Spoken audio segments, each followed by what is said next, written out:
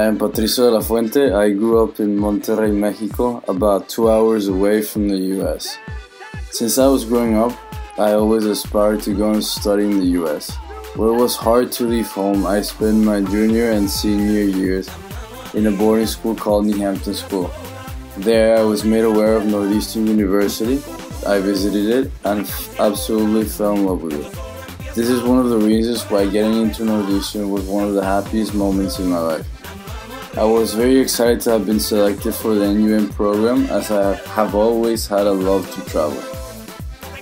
I had never been to Australia before, so I was very excited to be in Melbourne for the next four months. When I arrived to Melbourne, I was a little bit nervous, mostly due to the fact that I was not in the group flight and had not gone to orientation because I'm an international student. However, as soon as I arrived to Swinburne, I was met warmly by our ISAs Renee, Dominique, and Corey, as well as the site lead Monica. I quickly got acquainted with most in the program, and I could not have asked for better roommates and friends. Shane, Ryan, Joe, Mario, Phil, Jaime, amongst others, all of whom have ended up being some of my best friends not only in the program but in my life. In terms of academics, I found myself enjoying my classes such as biology and chemistry, as well as learning about Australian history, where I learned a lot about the culture, customs, and traditions.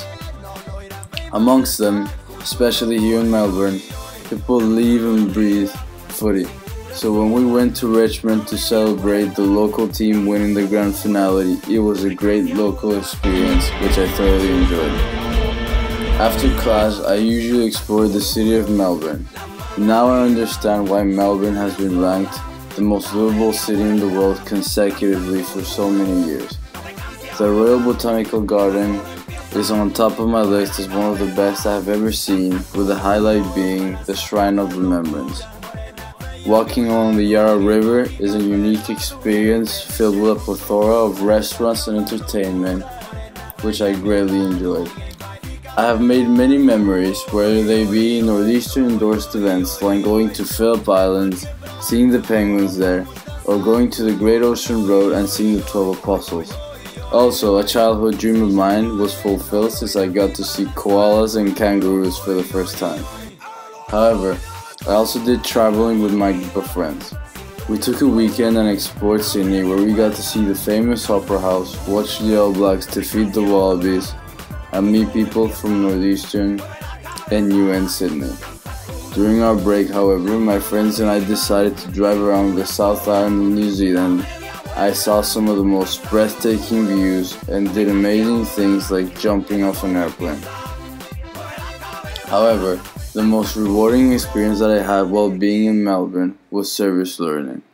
I had the privilege to be a volunteer at the Walk for Parkinson's, which is designed to raise awareness and funds for Parkinson's disease. While I participated, I met some amazing people in charge of making sure everything ran smoothly and made sure that I knew what my role was for the day. I also had the opportunity to volunteer in a Red Cross shop where all proceeds went directly to the Red Cross. All the staff there were members of the local community and I was shocked as to how open and warm they were. They made sure I felt comfortable by asking me questions about my culture and where I was from. This made me realize differences between Mexican, American, and Australian culture.